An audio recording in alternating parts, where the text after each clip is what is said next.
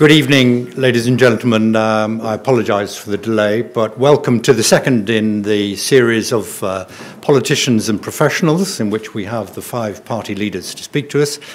And the David Hume Institute is, as usual, very grateful to the Royal Society of Edinburgh, the Institute of Chartered Accountants in Scotland, the Institute and Faculty of Actuaries, and the Law Society of Scotland for their support in this.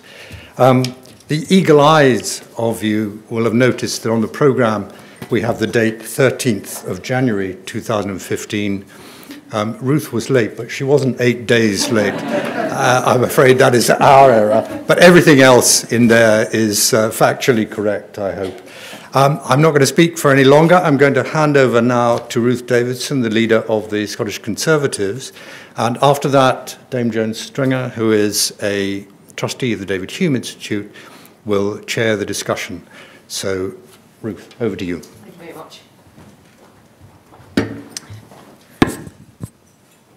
Thank you. Good evening, and thank you very much for uh, giving me the opportunity to speak to all of you uh, this evening. It is a pleasure to be here again. I did speak uh, about a year ago, uh, and I think it's fair to say that uh, the intervening year uh, has been a, a challenging, a stretching, and inspiring one to a degree that was perhaps impossible to predict at its outset. on both sides of last year's referendum debate, we've had our arguments, our mettle, and our stamina tested uh, to the maximum.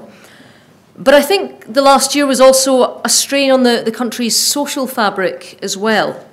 Um, politicians and the general public, I think, quite rightly celebrated the way in which uh, everybody across Scotland engaged in democracy, uh, particularly uh, the voting was at an unprecedented level. But I think we must recognise too that the debate itself divided families, uh, friendships, and colleagues, and that in many cases those divisions continued beyond the 18th of September, and some of them still continue. Uh, and that, I believe, is as unhelpful as it is unhealthy. It meant then, and it means now, that more than ever, we need organisations which dispassionately and rationally added and add their own thoughts and information to the debate so as better as so as to better our understanding, not just of the issues, but for our fellow Scots, with whom we might disagree. The David Hume Institute does exactly that job, and for that I speak for many in saying that we are grateful to you. Now, the subject that I've been asked to speak about tonight is which sort of Scotland do we wish to create? And I, I want to answer that question by offering, it won't surprise you to learn, a conservative vision for Scotland a Conservative vision for all of Scotland. Now, it suits politicians, it's always suited politicians and parties of many stripes to characterise their opponents as representatives only of their own vested interests. Indeed, that's a charge that's been levelled at my party, the Scottish Conservatives, more than once by those who wish to increase their vote share at our expense. But it is a charge that I'm going to wholeheartedly reject. Because as a young woman Growing up in Fife, shaping my views at Buckhaven High School, the first generation of my family to go to university, paying my own way in life and taking nothing that wasn't earned. I know that the Conservative vision is a vision for all Scots, a vision that's rooted in values which have served this country well for centuries. Those are, values are hard work, ambition, responsibility, and just reward. A belief that in rewarding hard work, we build a nation which helps people get on in life. A belief in personal responsibility, in strong but limited government, and in individual freedom. A belief that government and civil society is there to provide people with the tools to help them better themselves, but also to deal justly and firmly with those who would take advantage. These are our values, and I believe that they are Scotland's values too. And this evening, I hope that I can demonstrate how the Scottish Conservatives now occupy the centre ground in Scottish politics. And I want to show you a real alternative to the, to the left and to the even further left that we are seeing now. Uh, so I propose a, a more prosperous, a more ambitious, and yes, a fairer Scotland, which is a Conservative Scotland. Now, A few months ago, uh, in October, just after the referendum, at the Conservative Party conference down south, I joked that finally I would no longer have to make speeches about the Constitution and the referendum. Sadly, uh, as a certain creed of our opponents have had great difficulty in accepting the result, that has proved to be slightly more difficult than I'd hoped. Although you'll be glad to hear that it's not my intention this evening to pick over the pieces from last year for too long. But as I make my case this evening for a Conservative Scotland, I must quickly go over three key moments from those extraordinary few months that we all experienced, because I believe they make my case for me. The first was in early June, when our party published our plans for further devolution. There were many sceptics within the SNP, within Labour, within the Chatterati, who assumed that the Conservatives would not deliver. They repeated a stereotype of a Conservative Party resistant to change, but they were rudely awoken, I believe, by the Strathclyde Commission. It is no exaggeration to say that it was seen as the most coherent and influential report on devolution of the last five years, and that was for one big reason. We didn't try and buy off any internal party interests, as Labour did. We simply applied our values to the issue before us. Responsibility and accountability were hardwired into everything that we did. So our commission, which included sceptics at the start of the process, could not justify a parliament which didn't look taxpayers in the eye before taking and spending their money. So our plans were radical and I believe influential in shaping the referendum campaign. And it was a moment when Scots saw us demonstrate how conservative thinking could improve Scotland's democracy. The second moment was not surprisingly the result itself.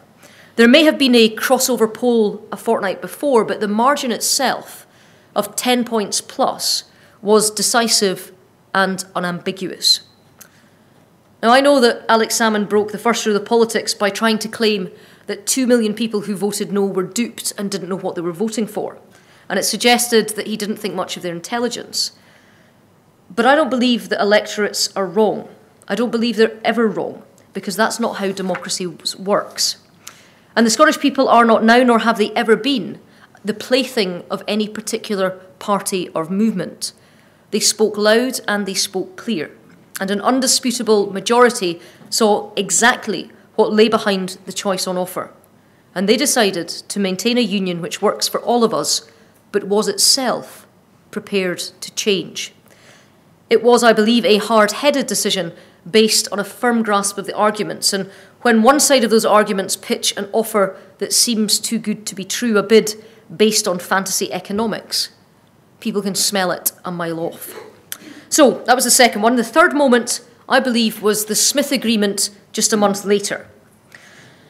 In June on Calton Hill, in August on Buchanan Street, and at the start of September, um, opposite Holyrood, I joined with the leaders of the Scottish Labour Party and with your speaker last week, Willie Rennie, the leader of the Scottish Democrat Party, pledging to deliver more powers for a Scottish Parliament.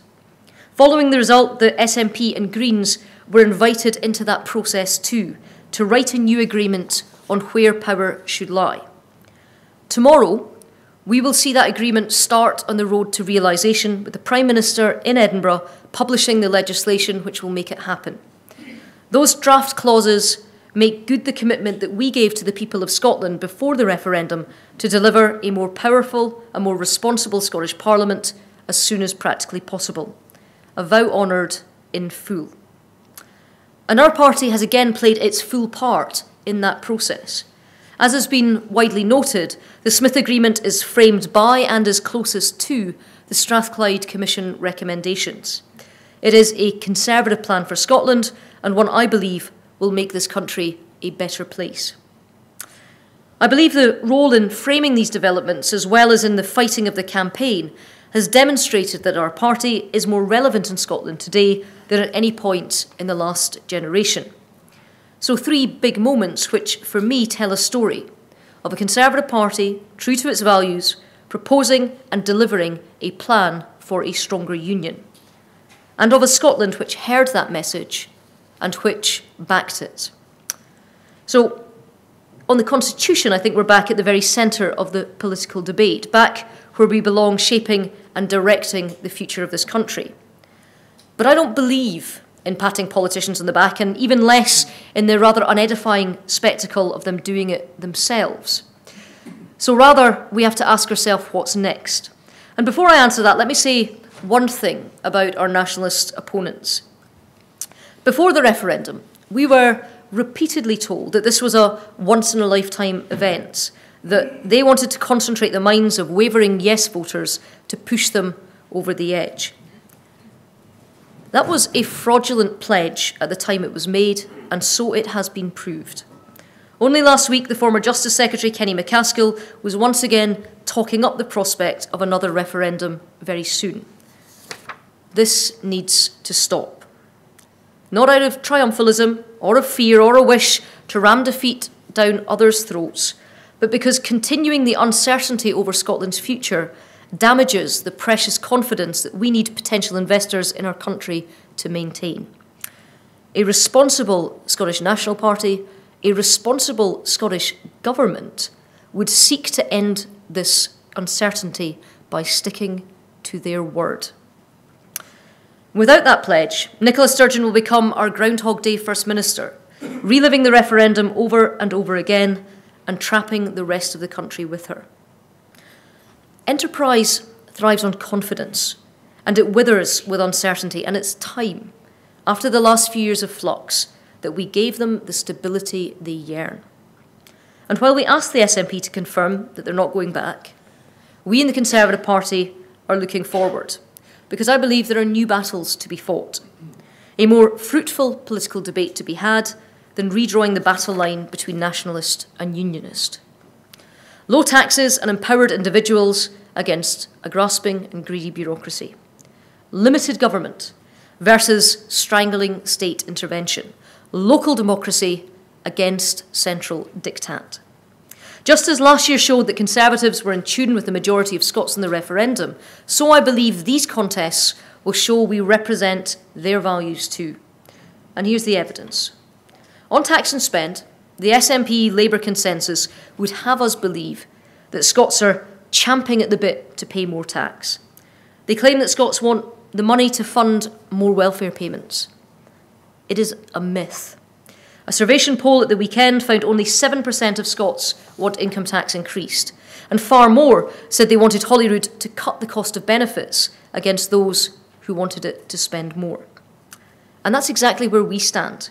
We support a cap on benefits to ensure that people know that work always pays. In return, we will, as the Prime Minister said earlier this week, meet our side of the bargain by pushing for a nation with full employment so that everyone who needs a job can get one. And we will always be on the side of cutting taxes, not as a political tactic, because we believe it's the right thing to do. We believe that individuals should be able to keep more of the money they earn and that businesses should be able to reinvest in our economy in the way that best works for them. And I believe that message is exactly what most Scots want to hear. If we just look at events in the Scottish Parliament in recent weeks, in October, John Swinney announced an eye watering new rate of stamp duty for Scots. The value of homes over £250,000 would be charged a whacking great 10% rate. Many people moving up the property ladder would be stung for thousands of pounds of extra tax. We in the Conservative Party made our case for a rethink. We showed how a tax cut could be fully funded thanks to changes to the Scottish Block Grant. And the Chancellor then made the case for a cut irresistible by himself reducing stamp duty rates across the UK.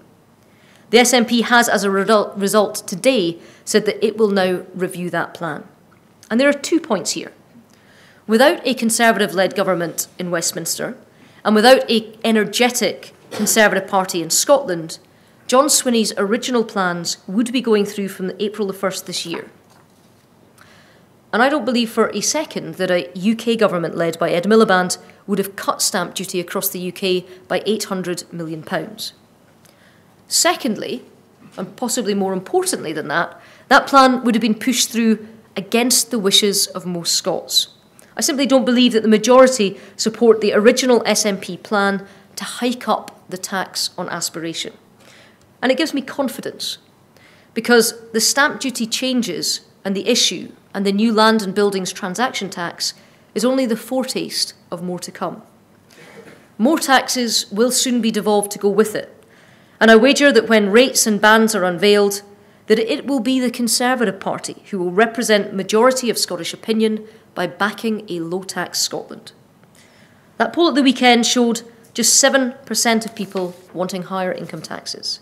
And even with a margin for error, that means 90% think they're either paying too much or at least enough.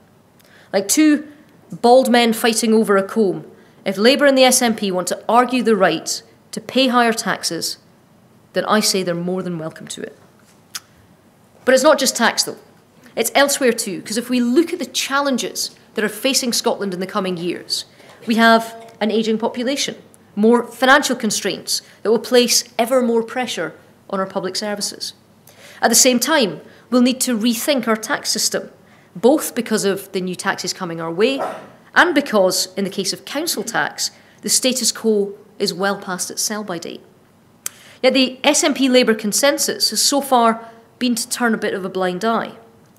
Labour commissioned a report on public sector reform by Arthur Midwinter two years ago and have now buried it. Not to be outdone, the SNP received two reports on public sector reform, one by Crawford Beveridge and one by the late Campbell Christie. Again, we've largely seen their work shelved. I'm determined not to follow that path. Ahead of the 2016 Holyrood election, all political parties in Scotland must start producing answers to some pretty tough questions. And we want to meet that challenge head on. We all know that the way the Scottish Government operates will change radically. It will have both to balance the books and look taxpayers in the eye as it does so. It will have more responsibility to grow the economy, to create jobs and profits, which in turn pay for our schools and hospitals. But if its policies stunt growth, if it destroys jobs, then the cash flow will dry up. It is a big change. It's a change for which we need to be prepared. So, in the coming days, we're going to lay out our plans to set up an independent commission on tax, competitive, tax competitiveness. We will look at all current and future taxes coming under the Scottish Government's control. It will run the rule over Scotland's cluttered public sector. In time for next year's Holyrood elections, it will report back with recommendations on how Scotland's new tax and spending system can best be used to boost economic growth. Independent of the party, the Commission will have free rein to make recommendations as it sees fit. And all I hope is that just as we led the way last year with proposals on the devolution of power, so we will lead the way in showing how those powers should be used. And of course, it's right that the handover of these powers will occupy much attention starting tomorrow. But for me, it's time we focused as much on what powers should be devolved within Scotland as those that are coming to it. Because the truth is, local democracy in Scotland is now in a state of peril. While the power game between Holyrood and Westminster is played out every week with monotonous bus stops, the Scottish local democracy is forced to sit in the stairs, a mere observer to this marital spat. Now, it's not often you will hear a Conservative Party leader quote the hard left Jimmy Reid Foundation, but on this occasion, please let me give them a glowing reference and I'm sure they'll be delighted with me for doing so. Um, two years ago, the Foundation wrote a report on local democracy in Scotland, and its main point deserves repeating. Below the national level, below Holyrood, its report pointed out that Scotland was, and I'll quote directly, the least democratic country in the European Union. The least democratic country in the EU. We have a tiny cadre of professional politicians that are separate from society running the country, they said. They were helped added by professional managers who made decisions about our communities with little reference to the people who lived there. And on this point, if on few others, I agree with the Jimmy Reid Foundation. I don't believe anyone can now dispute that power has been centralised to Edinburgh by the SNP. Decisions on whether your local police station stays open are being made by central command. It doesn't matter how well your child is performing at school. Doesn't matter if your local authority wants to concentrate resource on needy families. Government diktat says that your child must have a state imposed guardian. Even the question of rural land ownership should be ruled over by bureaucrats sitting in Edinburgh with a direct right to intervene and call in. And all of this was capped off last week when Alex Salmond's former aide and the SNP MSP, Joan McAlpine, used her Daily Record column to declare that people who promoted more devolution within Scotland did so, and again I'm going to quote this directly because it's, it's special, to bring down our parliament. So maybe these slightly stunning and stupid comments last week were the sort of moment that we hit peak Nat. Because in Joan McAlpine's world, it appears that it is now anti Scottish to believe that local decisions should be taken locally wherever possible and practical. I think that's a, a view that's as bizarre as it is sinister. And the Conservative case is that this status mentality and the, the power grab that we've seen in the last seven years needs to end. Scotland's services are some of the most centralised in the developed world, and I don't believe it can continue. Because I believe that a central belt bureaucracy is squeezing the life out of the rest of the country, and the rest of Scotland now wants its say. Scotland can't and shouldn't be run from the M8 corridor. And we will campaign this year to ensure that power spreads right across the nation, because central to our thinking is that power should always be devolved away from governments and parliaments and to people and communities. We don't want the ownership of affordable housing dictated in Edinburgh or London. We want people to have the right to buy their own council home. We don't want union barons to decide on a whim how their members view a particular issue. We want individual trade union members to have their say. And so it follows that we don't want Whitehall or St Andrew's House to dictate how every community runs its own affairs. We believe decisions should always be passed down to the lowest possible rung on the ladder. And for us, the first rung of that ladder is not a council, it's an individual. And we have an opportunity to start doing that now. Because the referendum, while important, sucked all of the oxygen out of the debating chamber. It prevented reform in other areas. And Scotland needs to refocus. In today's society, we have all of the information we could ever need at the touch of a smartphone, and a centralised top down system of government is completely anachronistic. So power should go straight from national governments to our cities. The recent city deal between Glasgow and the UK government was a fantastic example of how we can do that. One billion pounds of funding from the UK and Scottish governments, with borrowing from Glasgow and neighbouring councils funding transport and employment programmes which should boost the local economy by £2.4 billion each and every year. But decisions taken in Glasgow on how to make that work. And that should just be the beginning. Because Edinburgh too wants to follow suit, and there's no reason for me why Aberdeen or Dundee shouldn't do so either. With new powers over the work programme, new powers over welfare being devolved to the Scottish Parliament, there are even more levers that the Scottish Government can offer local authorities to pull for themselves. But I don't believe it should stop there. Power should go from our cities and our regions to our local communities. It is still the case that in Scotland, only local authorities are in charge of our state schools.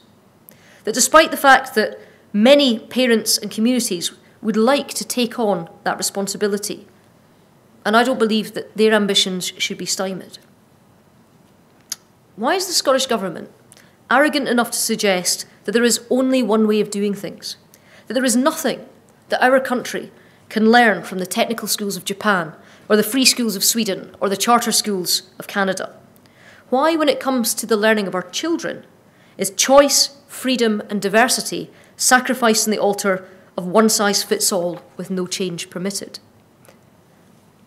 And I believe that empowerment is an issue which goes straight into your home. If you take the internet, you can't work in the modern world if you're not connected to it, which is why the Conservatives are rolling out superfast broadband right across the country, even in the most remote regions of Scotland, where a phone line used to be tricky to get put in. They'll soon be enjoying bandwidth comparable with major urban centres.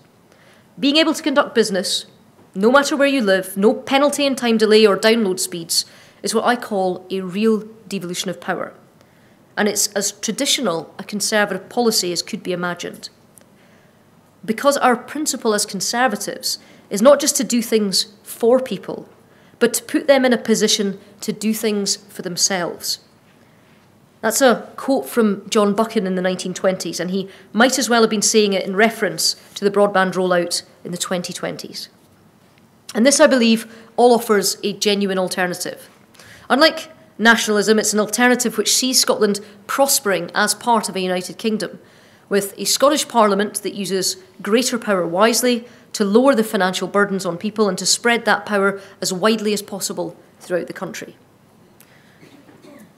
And I think that there are a number of reasons for this. Number one, it's an alternative that doesn't see endless conflict between London and Edinburgh, but sees collaboration. And I believe that's what people want. Over Christmas, we saw both our governments react superbly as we sought to find the best treatment possible for the first person diagnosed with Ebola in the on UK soil. I thought the way both Nicola Sturgeon and the UK government handled the matter was exemplary. My only wish is such mutual respect would more often replace the false grievance that we see all too frequently. We have great minds in both our governments. Let's see them working together a bit more often. Number two, it's an alternative to an over fussy and interfering state. It's a belief that personal responsibility should be at the heart of policy making. So, parents are free to raise their children without a state appointed guardian being forced upon them. So, football fans are subject to the same laws as everybody else, not the dog's dinner of failed sectarian behaviour legislation. So, parents can pick a school for their child and have different types of school from which to choose. Number three, it's an alternative to our sclerotic public sector system. It's about welcoming change and innovation, not treating it as a threat. And freeing schools from central control is pretty much near the top of that list for me. Number four, it's an alternative to centralising Scotland. It's a plan which seeks to push power back out of Edinburgh. Taking one example, the way in which the single police force has been rolled out urgently needs reform. Simply Trying to stamp the rest of the country with a Strathclyde mould and expecting it to fit isn't working. Local communities need to feel that they've got their community police force back. Number five, it's an alternative which faces up to where we are, which accepts that in straitened times, the money tree can't pay for everything all of the time.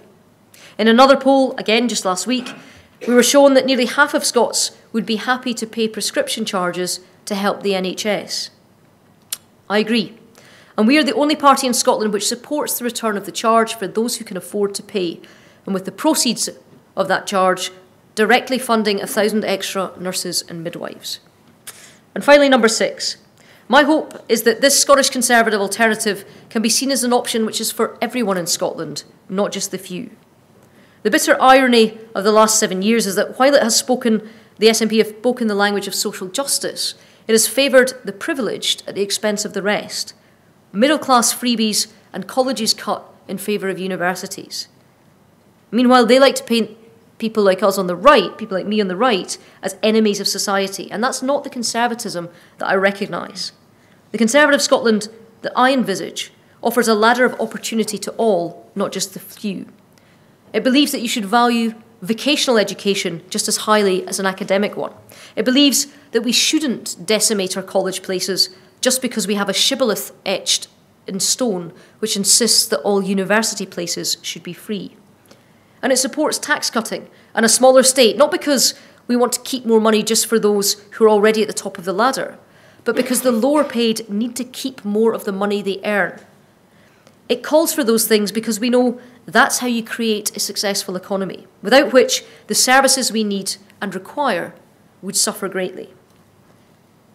Cutting the deficit isn't just about cutting spending, it's about growing the economy too. And it's the only way we can rebuild a country which lives within its means. The only way, in other words, that we can keep better hospitals, stronger schools, and a secure justice system. There is nothing just, nothing just at all, about dumping our debts on our children and on kicking the can down the road. And I'm proud of that principle. And as we approach the general election in May, I'll be basing our campaign on the fruits, fruits that it has borne. Here in Scotland, 170,000 extra jobs. Across the UK, 1.75 million back in work. It didn't happen by accident. Thanks to the employment allowance, thanks to the cut in national insurance contributions, every business is at least £2,000 better off. Low jobs taxes, the stability of our fiscal plans. This is what gives businesses the confidence to hire, and it's given more people the dignity of a job. So I'm looking forward to standing on the record of a government which has reduced the number of people out of work and claiming benefits by 880,000 since 2010. Welfare reform has been tough and it's been controversial. But the welfare cap, set at £26,000, has sent a clear message that nobody should receive more in benefits than the average person earns in work. And it's a message that resonates. The benefits cap enjoys majority in Scotland support in Scotland that is far in excess of that south of the border. And I'm more than happy to back a government which has cut income tax for more than 26 million people and which, if we are re elected, will raise the personal allowance further to £12,500. These are achievements that have been made against a headwind and which I believe will see us re elected in May. In Scotland, I don't need to be reminded that the headwind can sometimes be pretty strong. but my belief is that the corner has been turned. The principles that have guided us, have guided our party, haven't changed. A belief in individual choice, a belief in responsibility, a belief in localism, a belief in low taxation, and strong but limited government. But what has changed is that Scottish families can now see for sure that we are on their side. So, the Scotland I want to build is a Conservative Scotland. I've always wanted that. What's changed is how much closer it has become to reach. Thank you very much.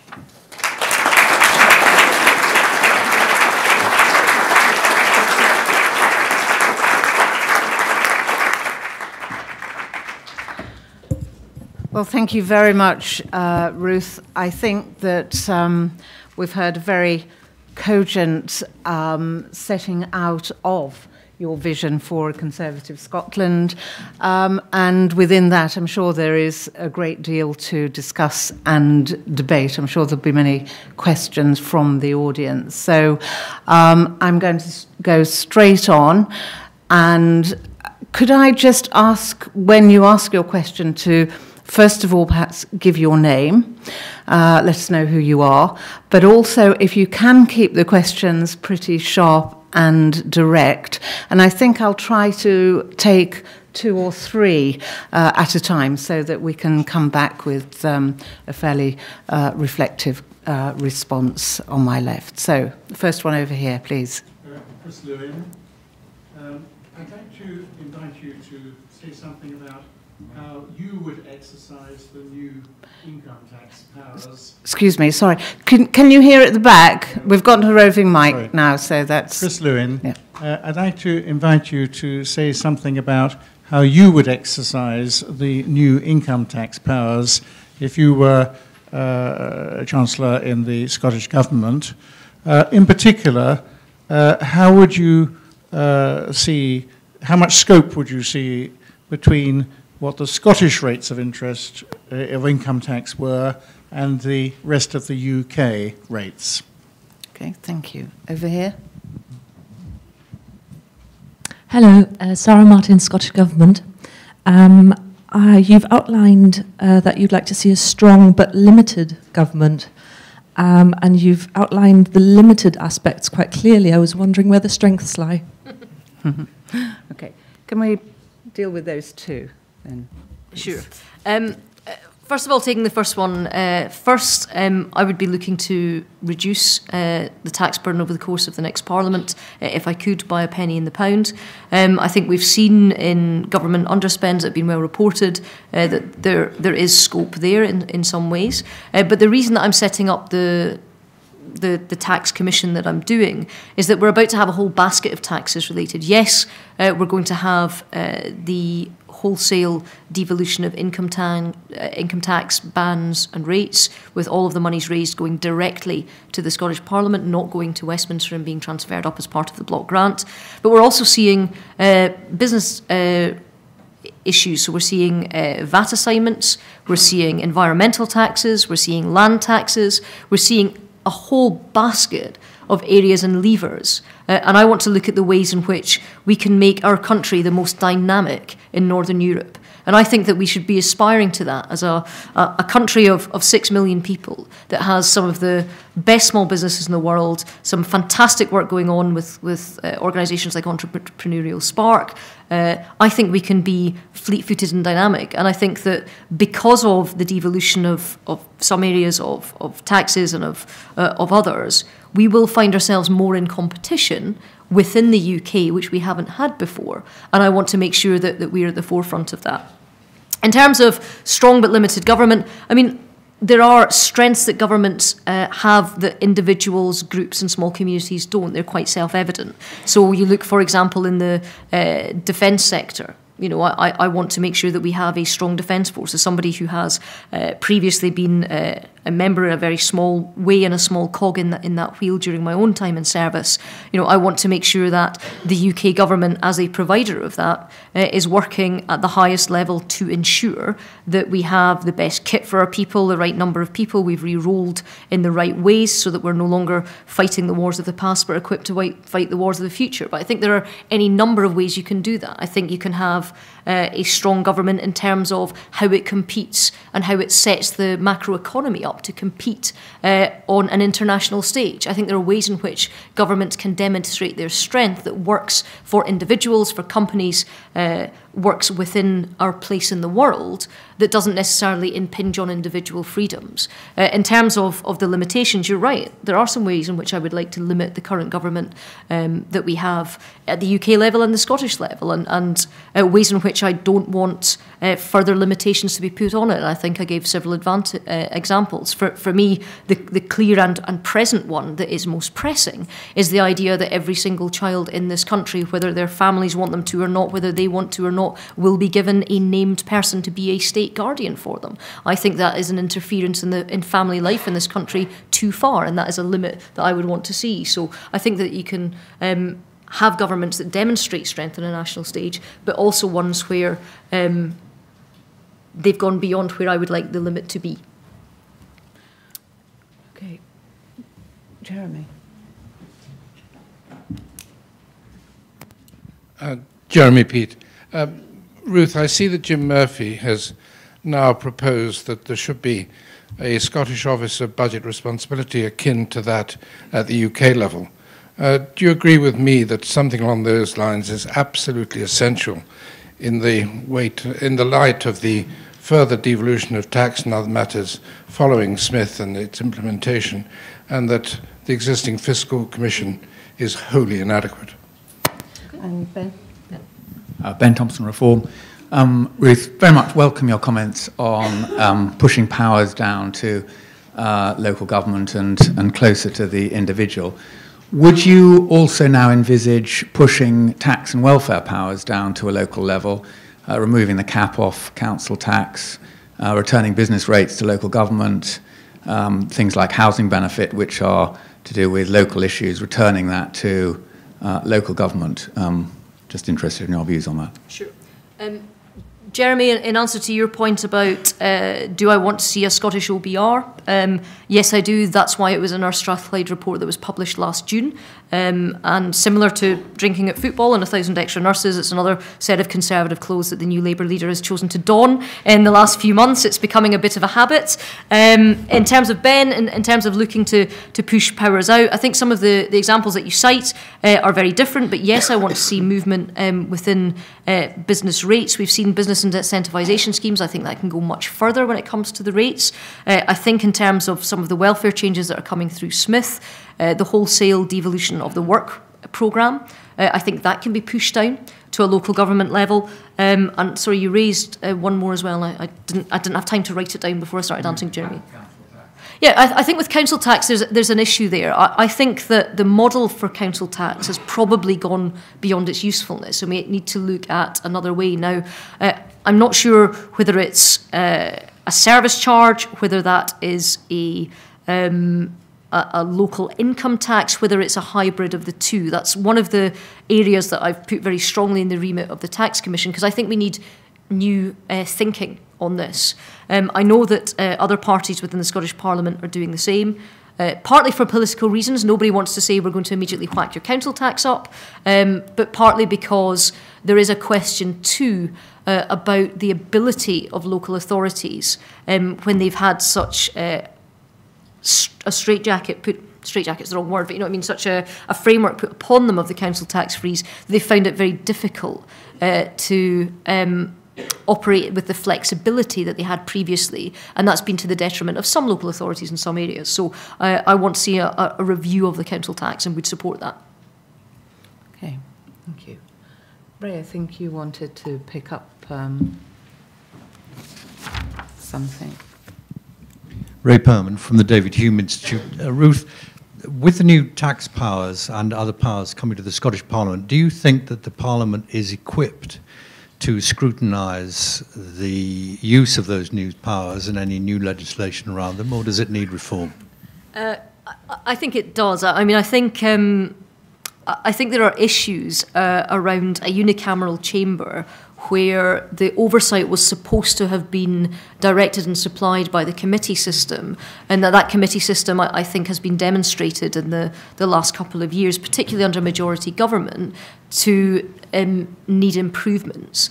If that sort of pre and post legislative scrutiny, if that's the, the mechanism by which we do it, then I think we have to find some way in which it can become more effective and less partisan. There are a number of proposals that have been put out there by colleagues, by people within uh, the um, presiding officers uh, side of things within the individual political parties themselves, particularly looking at instead of having appointments by parties to who sits on what committee and, and, and the numbers, looking at having elections at in the similar way to the Westminster system, having financial um, recompense for uh, for the chairman of committees so that they act um, more independently of the parties in which they serve. Uh, I think that's definitely an area that needs to be looked at. Uh, I think also, and, and, this relates back to the point that, that Jeremy made about having an OBR for oversight, we have some fantastic bodies in this country that, that give oversight. Uh, I think Audit Scotland does a, a really, really good first class job. Um, what I think we do need to have is we need to have more of that in different areas. Um, there is about to be a huge change uh, over the next few years in what the Parliament does, how it does it, and how it affects the lives of individual people up and down this country. And we need to make sure that you know people like me aren't doing it with impunity. Who watches the watchers, and we need to be watched. Okay. Yes.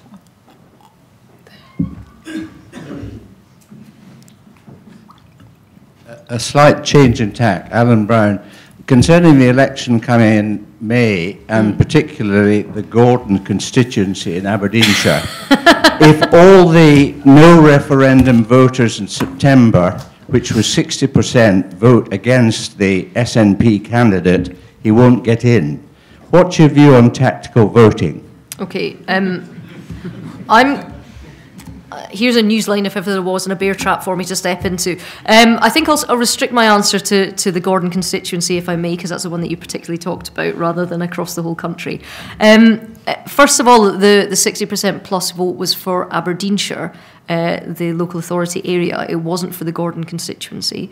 Um, so we need to look at, at uh, um, areas on the ground. Um, secondly, there's about to be a whole slew of uh, polls that come out for individual constituencies. Uh, across the country. We, we have national polls. There was one today by STV that showed the SNP polling 52% across the country. Um, national polls must have more than 1,001 people interviewed in order to be regarded as statistically significant. Uh, so that's 1,001 people plus across the whole of the UK. I think this one was 1,002 or 1,004. To do the same in individual constituencies means that you need over a thousand in each of the individual constituencies. Um, like I say, Lord Ashcroft has already done the fieldwork for that. They're um, being weighted as we speak, and they're going to be published uh, in the next few weeks. Um, I would be astonished uh, if it so proved that tactical voting would have any material effect on the result in Gordon. I think there's a reason why the Gordon constituency was chosen for the former First Minister to stand in. And that is the most political answer I think I can give. that keeps me out of trouble and out of the newspapers. So there you go. Um, and yes, please. Here we go. Ruth, uh, Gordon Cairns, mm. ex Buckhaven High School. Good man, perseverando. Yeah, Uh, absolutely. We're tutti et opera, and to be a conservative at Buckhaven, you must have had courage. Uh, I'm tough. yeah, also uh, the first in the family uh, to go to university. Um, and I've seen over my working lifetime a move towards meritocracy, and I'm a headhunter, so I see it every day basically in the people that come before me to be interviewed, that they're getting there on merit. I see a slip back now, where people are prom- promoting people on the basis of contacts rather than merit, and I'd just like to understand how you would try to reverse that trend. I'm sad to hear that you're, you're seeing a, a slip back on that. I genuinely am, because I don't think that that's the country we either should have, we've had in the past, nor do we want in this country. Um, the idea that Scotland has always had of that we welcome everyone, we're all Jock Tamson's bairns, we try and promote people, and it's, you know, the, the whole I Kent Your Father, it's, it's not about, you know, who you know, it's about what you can do. Um, but what you can do doesn't exist in a vacuum. And that's why I've talked so much tonight and why I've talked in previous times about things like school reform. Because we see, and we have seen, that people that come from the poorer quintiles of our society don't do as well at school. And that's not because they're not as bright, but it's because of a lot of social factors that need addressed. It's also because, I believe, um, they're not having the same abilities to be stretched at school. Um, I think that there are examples around the world, in fact, we don't have to look very far for them, where we've seen that having changes to the way in which you teach someone, getting away from this one size fits all category, can have remarkable effects. You look at uh, the Selly Oak Academies down in Birmingham, where more than half the people are on free school meals, but have gone on to get five good GCSEs, coming from a starting position that was far below that. Um, you look at, like I say, you look at different ways of teaching people. You look at how you sort of add merit and grade to a society. Um, I think something like the technical schools in Japan that I, I, briefly mentioned are something we should look at here. I know that JCB have an academy uh, down south, but why is it, and, and why did we allow it to become the case where, yes, we wanted 50% of people to go to university, that's great, but there was something lesser about the other 50% who didn't. The idea that going into a trade, that going straight from school to an apprenticeship and learning on a job was somehow less, that going into further education rather than higher education was somehow less. Um, I spent a lot of time um, in the last four years uh, since I was elected to the Scottish Parliament looking at, at some of the work that's being done by our further education colleges around this country. And some of it is absolutely superb. And I think not too far from where we grew up, I think of uh, Carnegie College as it, as it was and its campus at Rosyth. And the work that it's doing, which was originally engineering work to do with shipbuilding, and because it had a, a, a, a ship site next door to it and, and right on the site, that is now converting into um, deep sea exploration and oil rig servicing because it's the same skills. The jobs that these guys and girls are going on to get up in Aberdeenshire and they're being headhunted, you know, earns far in excess of what a lowly backbencher like I earn, and rightly so because it has a level of skills that I can only aspire to, you know, and it and it's about uh, it, it's also part of the economy of this country. So I think that when it comes to letting people reach the potential that they have, it starts in early years education. It starts in making sure that we have access to the soft skills that, that preschool children need so that they have socialization with other youngsters, that they have the language skills, that they have the um, dexterity skills that they need when they go to school. But it also means that from school age, we have the ability that each child can reach their full potential. And I don't believe that that is currently being served by a comprehensive system. And I don't say that as a dogma. I say that by looking at the results that we have in international league tables. There's something called the, the PISA results, which every year, uh, sorry, every second year um, tests people in OECD countries around the world in three disciplines: one in reading, one in maths, and one in science. You know, Scotland is not zooming up those tables. Um, we are holding steady in a couple and going down in one. You know, we should have the ability to compete against other countries in the world. They're zooming ahead and we're staying behind. Conversely, Um, again, I don't want this, this to be an England versus Scotland argument, but down south, we're seeing that even though they started from behind us, we used to have a better education than, than system than them. Um, the results down south are going up and up and up in each of the three disciplines. You know, I think that should be sending a warning flag to us. I think that should be saying to us that look, let's not be complacent about the system that we have. Let's not say that there is nothing that we can learn from other countries around the world. So I'm sorry you wanted short questions, but I've just given an enormously long answer.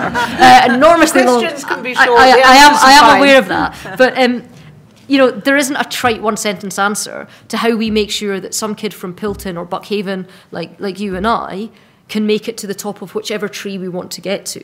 Um, but there are complex reasons why many people from that background don't, when others who have more perhaps fiscal, financial, or family advantages but less talent do. And that is something that we all have to address, not just for the individuals, but for the, the wealth the happiness, the progress of our nation. Okay, thank you. And um, down here. Thank you very much. Tim Burrows from ICAS. Um, just a question on coalition politics. With coalition becoming seemingly more common, um, is the day of a party issuing a manifesto with specific pledges that they can't perhaps keep when they go into coalition government gone? And is there a case for setting out a vision and a set of principles rather than something specific that can't actually be delivered?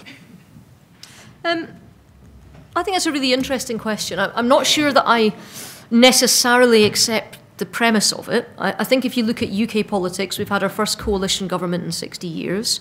Um, at the moment, the polls indicate that there may not be a, a majority government uh, thereafter. Um, I think in Scotland we've shown the way that you can have a minority government that works, and I don't see that that's something that we can't uh, export to, to a UK-wide uh, audience. I think if you look at the way in which um, the Welsh Assembly has worked, you've, you've seen other forms and models of government too that aren't coalitions. And I think if you look at the Scottish Parliament, there's been a move away from coalition government rather than for it, uh, in the certainly in the, in the last election. But I, th I think manifestos are important. I think that you do have to set a list of outcomes that you want to achieve that you can be measured against. And I use the word outcomes um, on purpose because I think, um, and this was particularly true um, under the Blair government, less so under Brown, but under the Blair government, there was a real focus on inputs. So, how much money did you spend on something? So, you looked at what you were inputting, you didn't look at the output and you didn't look at the outcome. Um, and I think that um, we've all learned from that, and I think actually the Labour Party's learned from that too. Uh, and I think that you do have to um, set a proper, tangible list of outcomes that you want to achieve and your way in which you are going to go and do that um, so that you can be held to account. One there and one up there, please. Uh, my name is Neil McLennan. I work for the Scotland office. I was quite closely involved in the referendum. Ruth, it struck me that in the course of that referendum, there were many that wanted to paint uh, the sort of Tories almost as a, as a dirty word uh, in Scottish it politics. No, well, but that, that's my question because um, it was almost to the extent that if you voted one way, it was a way to ensure that Scotland would never have a Tory government again. I mean, half a million people uh, voted Conservative in the last election, and it can hardly be the case that democracy would be better served if a situation was engineered that reduced choice. Do you, do you think you need to do a better job of pushing back against this sort of lazy politics? Um, yes, I do, and that is part of my job as leader of my party. Um, I think it's not a new phenomenon. Um, I think that after the 1997 wipeout, um, the party looked to itself and contemplated its navel a little bit. It allowed others to write our history for us, and I'll, I'll give you an, an, example of that. My first foray into attempted elected politics was the 2009 Glasgow North East by election when Michael Martin, the Speaker of the House of Commons, left after all of the expenses. I think I was the I was the Conservative candidate there, and I was on doorsteps in Springburn and Milton and Barmulloch, if any of you know these highly desirable and uh, aesthetically pleasing areas of Glasgow, and um, had people telling me that, you know, they wouldn't vote Tory because Thatcher shut their, their rail yards at Cowlairs and St Rollox that were in the constituency. Um, and I did have to point out to them that the rail yards had shut, Um, they'd shut in the 60s um, because they had been making steam locomotives and the world had moved on to diesel. And that while I'm, I'm no political historian, um, I know that that was long before the time Margaret Thatcher was in government. I think it may have been the time, before she was even in Parliament and was still an industrial chemist making the secret ingredient for Mr. Whippy ice cream. But the myth had grown up that the Tories had shut their rail yards and therefore it had gained credence. And, and we've, we've never pushed back against some of, the, or we haven't in our recent past pushed back against some of the myths that other people have written for us. And I think too, there's also been a little bit of sackcloth and ashes. I think um, when I was when I was running for leader of the the party, um, I made the point that we'd been clearing our throat a bit and been a bit apologetic. We used to go up to people and say, "I'm sorry, I'm conservative, but this is what I believe," um, and that's what we'd asked our activists to do. And actually, what we should be doing is saying, "I believe X, Y, and Z," and if you believe that, then you're a conservative too uh, come with us and let's have that conversation. And, and one of the, the real eye openers for me during the referendum campaign uh, is uh, I set up an organisation called Conservative Friends of the Union. And I wrote to lots of people across Scotland and said, um, we know you're not conservative, you're not a conservative member, you're not a member of the party, you've never been involved, um, but we're fighting this referendum campaign. Uh, I set this up in 2012. We're fighting this referendum campaign. It's incredibly important. Will you stand with us and help us as we fight it on the side of the no campaign to keep our country together? And more than 80,000 people wrote back and said yes. And over the period, I've been having a conversation with these people, I've been writing out to them, I've asked them to get involved, I've had them delivering leaflets up and down the country, I've had them knocking on doors, I've had them coming to events. And after the referendum was over, I, I held a, a, string of kind of town hall meetings around the country um, to say thank you to them for standing with us uh, on this very important issue uh, and said, look, my personal belief is that the referendum um, is a case of us having won the war, but we haven't won the peace.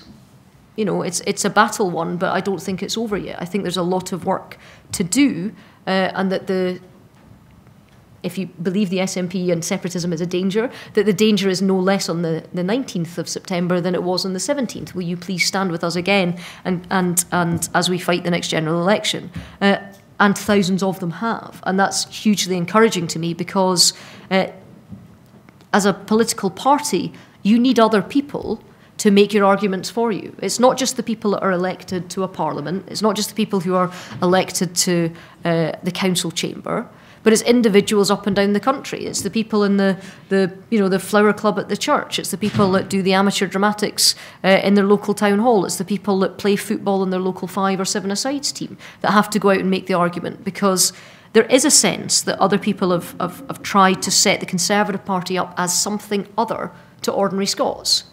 Whether they try to set us up as, as English, I don't know if I sound English to anyone here, I'm not. Set us up as posh, I don't know if I sound posh to anyone here, I'm really not. Uh, I don't know, uh, you know, if somebody that's uh, old or out of touch or all of these other characterizations that are put onto the party. We have to demonstrate that actually we are a pluralistic party across the whole of Scotland that look and sound like everybody else and are making legitimate arguments which you can agree with or disagree with, but let's have the debate. We're making legitimate arguments about the future of this country and how it should be run. And you're right, you know, more than 412,000 people backed us in 2010, and I can envisage that going up in 2015. There will be half a million people or more who vote Conservative. That is a significant cohort of our country.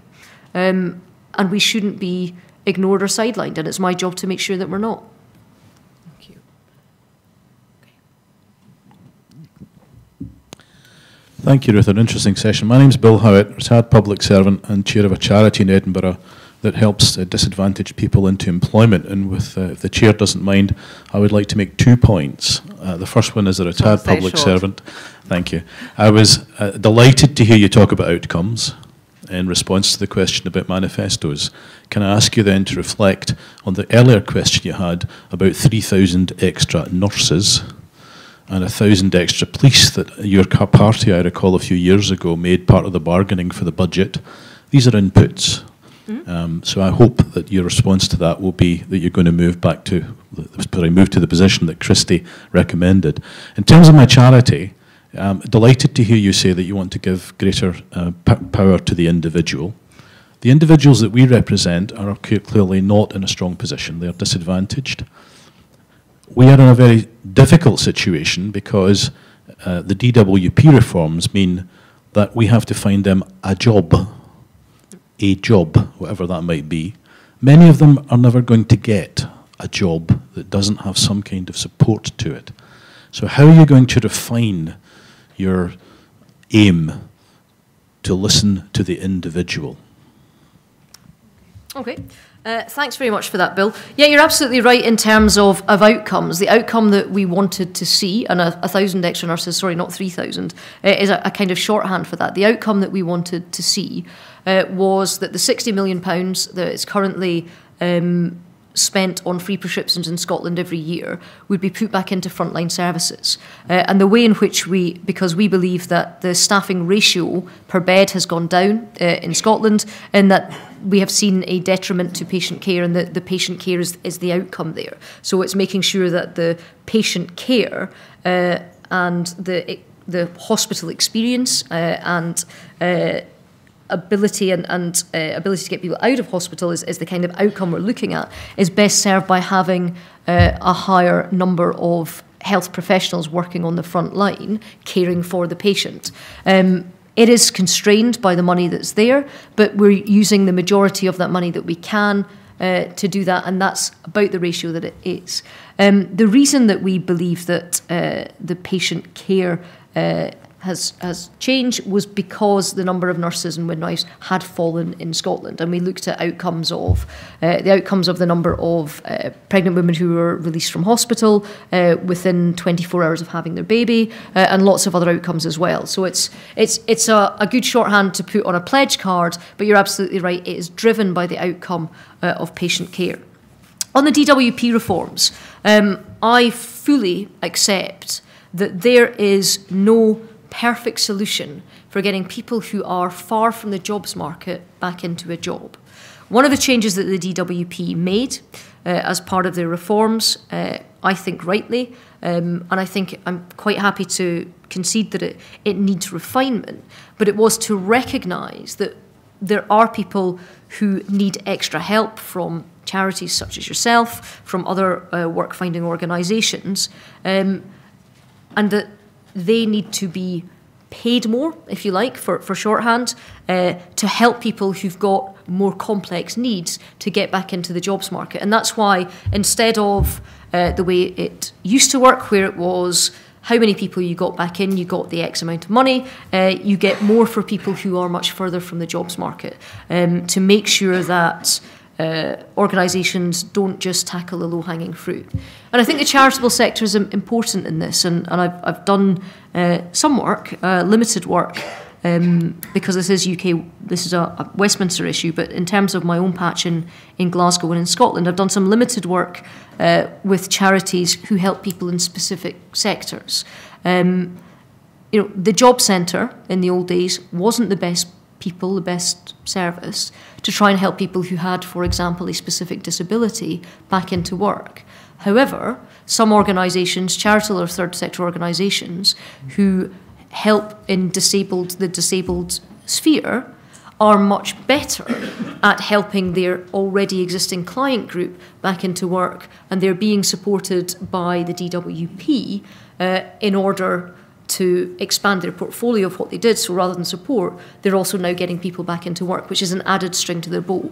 Now, I fully accept that DWP reforms aren't there yet. I think they are an improvement on what went before, but I'm not satisfied that we can't keep improving. Okay, thank you. Uh, Catherine Smith, now we must win the peace. I think I possibly was the first person to use that in my wee woman persona.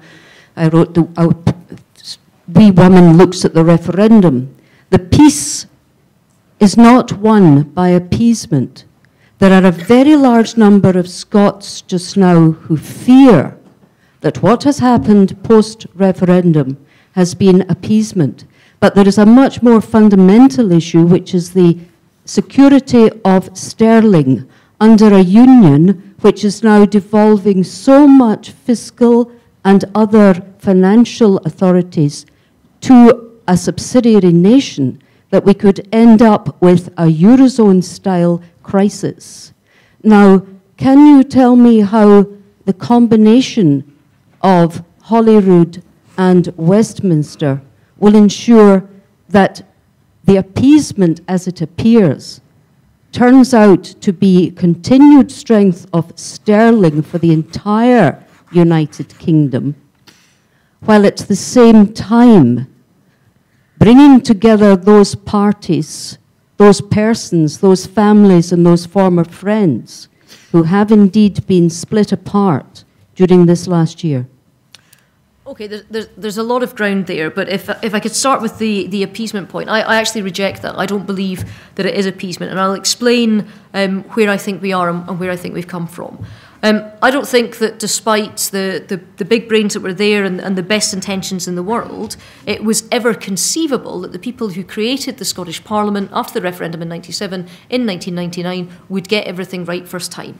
I think one of the things that wasn't right was you had a situation uh, where you had a Scottish Parliament that was in charge of tens of millions of pounds of public spending, but wasn't in charge of raising very much or, or indeed uh, almost any of that money. Um, I think what that has allowed to do, if we fast forward to the, the referendum campaign, it has allowed a nationalist party in government to spend its time in government spending seven years going around the country of Scotland saying everything good in this country is because we spent money on it, and everything bad is because that nasty George Osborne wouldn't give us enough. And I think lots of people in this country bought that argument. I do not believe for one second that it is appeasement to stop giving future First Ministers, future Finance Ministers a free pass on the decisions that they make if they're going to want to commit money to projects, absolutely right and proper, but they're going to have to look the taxpayer in the eye when they open their palm and say, hand over your cash so that I can do this. Um, and the reason that I say that um, is because I think there, there has been a, a real sense of trying to drive that wedge. There has been a real sense of um, you can get things um, without paying for them. And the example I would use is if a streetlight goes out in your street, you pick up the phone and you phone the council. Why? Because you pay your council tax. Now, your council tax is actually only a tiny proportion of what a council takes in. But because you physically pay it, because you have a bill, because it comes through your door, because it comes out of your bank account, you feel that you have ownership and the right to tell the council that they need to fix that street light. And I think that's right and proper. So people know that they pay councils. People know that they pay their income tax to the Chancellor of the Exchequer. And they feel that they are uh, able to um, you know, have conversations and discussions and criticisms about how that money is used. Actually, nobody thinks that the Scottish Parliament, nobody picks up the phone to the Scottish Parliament and says, What are you doing with my money? Because they don't see the money coming out of their back pocket and going to Bute House. And that's what I think is going to change in future. When you see the right hand side of your paycheck going straight into the back pocket of, you know, St Andrew's House to be distributed, then actually the level of scrutiny by individuals of the Scottish Government, I think, will go up. And I don't believe that that is appeasement. On the second point, the security of sterling. Um, we worked very hard in the Smith Commission to take on board uh, the views of different stakeholders, including uh, the business community and others. That's why you see, for example, um, corporation tax has been retained at a UK level. That's why you see that the single market has been retained at a UK level. That's why you see the single regulatory regime, for example, in financial services, has been maintained and, re and retained at a UK level. Um, I also think if you look at the money markets, if you look at what has happened to sterling post September, um, post October when the, the Smith Commission was, sorry, post November when the Smith Commission came out, you haven't seen any movement there. Um, what's involved in the Smith Commission um, still allows for a strong macroeconomic framework that's controlled at Westminster and benefits the whole of the UK as befitting a G7 big economy in the world. We haven't spooked the money markets. What we are doing is uh, creating greater um, ability within Scotland to raise and pay for some of the services that we have in Scotland. And income tax is one of the ways in which we've done it. Thank you. So I'm going to take the last couple of questions now. I think there was one over here and um, one over there, which seems to have disappeared. But we'll take the, we'll begin with this one. Thank you. After the referendum, the Labour Party in Scotland spent quite a lot of effort seeking greater autonomy from London. Mm. Do you have less or more autonomy uh, from London than the Scottish Labour Party? And will you then be leading the Scottish Conservative campaign in the Westminster election? Okay. Um, really easy answer to that, yes. Um, we did a, a, big investigation after the 2010 uh, general election. For those of you who are politically um, even more of an anorak than I am, it was called the Sanderson Commission. It was under the remit of Lord Sanderson of Bowden. Um, and we looked at the idea that uh, our leader in Scotland, Annabel Goldie, David McLetchie before her, was actually really only the leader of the MSP group in the Scottish Parliament. Uh, and our unelected chairman was in charge of areas such as uh, finance, uh, candidates, campaigns, all of that sort of area. Um, and we realised that that didn't really wash. Uh, organisations need a single head um, where the buck stops. So we changed that, and we changed that at a, uh, you know, before the, the Scottish parliamentary election in, in 2011. So I am the first leader of the Scottish Conservatives rather than leader of the Conservative group in the Scottish Parliament, which is what the others were known as. So, um, in comparison with Labour, if, if, I give you an example, um, I don't know if any of you remember the brouhaha over the candidate that was elected in Falkirk that had to resign, and there was all this stuff about unions and all the rest of it. And it became apparent um, during all of that campaign that Johann Lamont didn't actually have any power to tell the candidate to naff off and to say we're going to have another uh, we're going to have a, another candidate selection or anything like that. You know, that doesn't happen to me. I'm in charge of everything. If we fail, it's because of me, and I get the blame. If we succeed, then it's because of our wonderful activists. But in terms of uh, always, um, but you know, in terms of being in charge of budgets, of staffing, of activists, of candidates, of policy,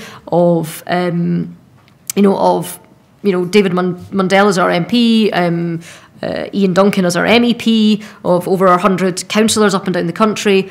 All of that is my remit in a way that the Labour Party just haven't had. Johann was the leader of the group in the Scottish Parliament, and, and that's the difference between us. Okay, Ruth, I'm going to claim uh, chair's privilege, and just um, before we close, just ask a question that goes back to um, the issue of outcomes mm-hmm. and manifestos, and some of the things that you set out in your vision in terms of responding to the needs of aging populations, education, the policy um, issues relating to that, all of which, of, of course, require considerable inputs in terms of resources and potentially increasing inputs uh, in terms of, of resources. And I, I wonder whether um, a lot of the manifesto commitments and statements actually overpromise in terms of what actually can be delivered within the resources that are available to governments in a society which is reluctant to see its tax increased. You, you referred to the 7% um, of Scots who uh, would see would favour tax increases. And just attached to that, though, um, you also talked about um, people being willing to pay more for prescriptions if they can afford it. And that actually sits at, at odds with people not wanting to um, increase their contribution, if I can put it that way. Is, is it perhaps that people don't trust that increases in taxes will go to the purposes or the things that politicians promise they will deliver. Um, but if they can see that what they do pay, such as prescription charges, which will deliver X number of nurses, improved healthcare, and so on, they're much more willing to put their hands in their pockets for that. So I just. I'd, I'd, like to thank you for leading by example on the brief question front. Um, uh, um, but no, actually, I think the broad point that you make is absolutely true. I, I think that um, where there isn't transparency on how money is spent, there is a natural and quite right suspicion.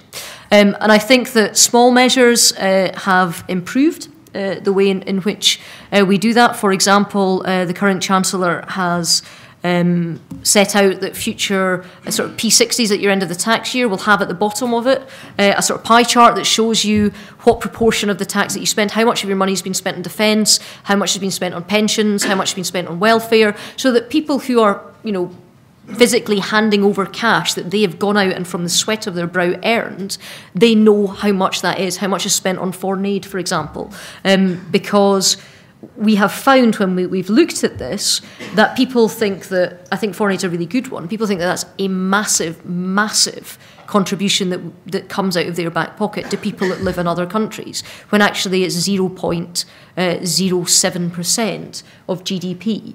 Um, so I, I think you're right, and I think that, as I said and, and briefly alluded to in my speech, given that we are now a, a sort of big data society, and, and people, should they so wish, can go and find out more. I think there's no excuse for governments not to put that sort of information uh, freely and widely available.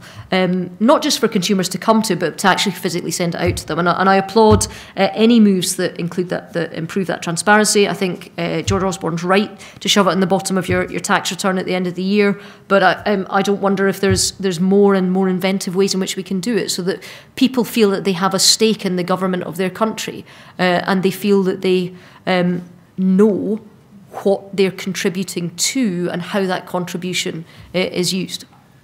Okay, well, um, can I thank you very much for that and uh, to the audience as well for keeping their questions short, even if I didn't.